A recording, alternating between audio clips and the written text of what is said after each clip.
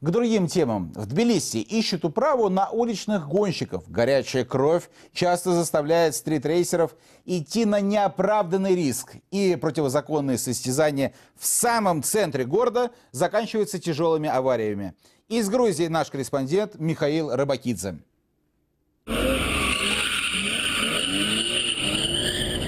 Реакция случайного свидетеля на такое появление автомобиля из-за угла может быть самой разной. От восхищения уровнем езды до нервного срыва. Ведь это происходит в центре Тбилиси, на оживленной магистрали, на которой могут оказаться и водители-новички, и пренебрегающие подземками пешеходы. Но грузинских стритрейсеров это, похоже, не смущает.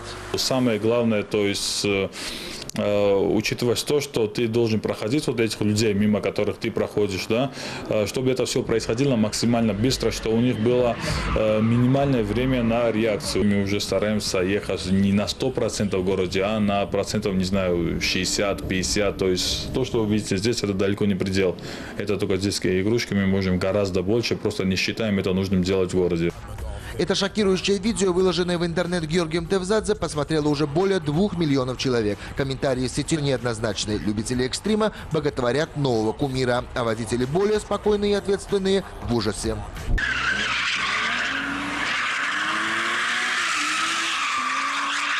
На скорости, до которой разгоняются тюнингованные автомобили, обычно взлетают самолеты. 230, 240, 270. Главный враг э, водителя – это его тщеславие, на самом деле. Э, Водитель всегда должен трезво, э, то есть осмысливать, на что он способен, на что способна его машина. Иногда кажется, что ты можешь все, потому что у тебя получилось один раз, второй раз, третий раз, и на четвертый раз машина может выкинуть. Такой сюрприз. Я вот тут почувствовал, что все, надо остановиться. Я вот тут за 100 метров тебе сказал, вот сейчас хватит. И ты такой, на! стритрейсинг, как бы двухлезвийный кинжал. С одной стороны, демонстрируется почти весь арсенал владения автомобилем, э, владением мастерством э, вождения автомобиля, а с другой стороны, э, это чревато и опасностями.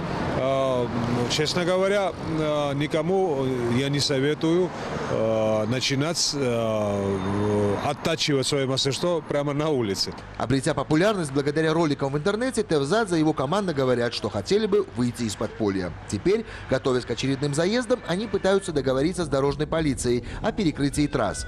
Георгий налаживает связи с российскими спортсменами-экстремалами, чтобы поучаствовать в легальных гонках. Например, на новой трассе в Шушарах под Санкт-Петербургом.